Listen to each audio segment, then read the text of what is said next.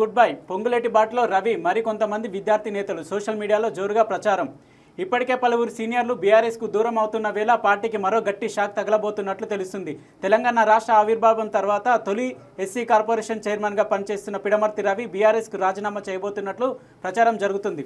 ఉమ్మడి ఖమ్మం జిల్లాకు చెందిన రవి బీఆర్ఎస్లో ఉన్న అంతర్గత పోరు వర్గపోరు కారణంగా పార్టీ నుంచి బయటకు రాబోతున్నట్లు ఊహాగానాలు వినిపిస్తున్నాయి. ఈ మేరకు ఆయన పొంగులేటి శ్రీనివాస్తో కలిసి ప్రియాంక గాంధీ సమక్షంలో కాంగ్రెస్ పార్టీలో చేరబోతున్నట్లు సోషల్ మీడియాలో ప్రచారం జరుగుతున్నది.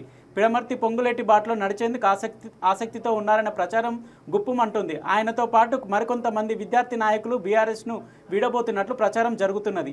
ఈ సందర్భంగా పొంగులేటితో పిడమర్తి భేటీ అయినట్లు ఓ ఫోటో వైరల్ అవుతుంది.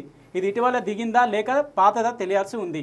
అంటే వాస్తవంగా కూడా పొంగులేటి పిడమర్తి రవి ఎస్సీ కార్పొరేషన్ చైర్మన్గా కావచ్చు తెలంగాణ ఉద్యమంలో టిఎస్ జాక్ ప్రెసిడెంట్గా కూడా చైర్మన్గా కూడా చాలా కీలక పాత్ర పోషించిండు. అదేవిధంగా సత్తుపల్లి నుంచి పోటీ చేసి ఓడిపోవడం జరిగింది. తదనంతర కాలంలో ఆయనకు ఎస్సీ కార్పొరేషన్ చైర్మన్గా కూడా కేసీఆర్ అవకాశం కల్పించారు. ప్రస్తుతం పొంగులేటి హవా నడుస్తున్న క్రమంలో గత కొంతకాలంగా పొంగులేటితోటి ఆయన అడుగులో అడుగేస్తూ కూడా ముందుకెళ్తా ఉన్నారు.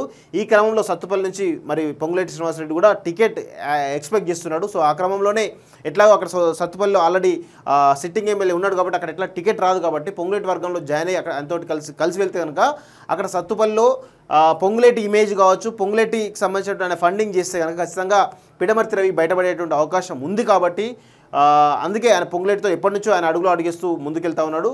ఇప్పటికే పొంగులేటి ఆయన రాజకీయ నిర్ణయం ఇంకా ప్రకటించకపోయినాడు ఇటు కాంగ్రెస్ ఆ, ఇటు బీజేపీ అనే అనుమానాలు ఉన్నప్పటికీ కూడా ఆయన వెంట పోతే ఎంతో కొంత నేను ఎమ్మెల్యే కావచ్చు అనేటువంటి దాంట్లో ఆయన ఉన్నట్టు మనకు తెలుస్తూ ఉంది. సో చూడాలి మరి ఏమవుతుందో